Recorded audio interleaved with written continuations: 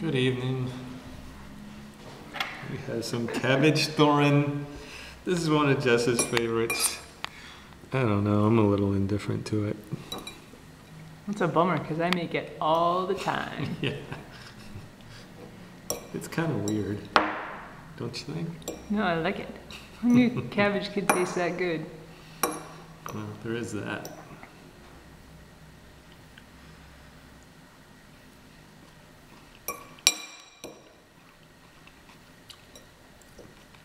Yep.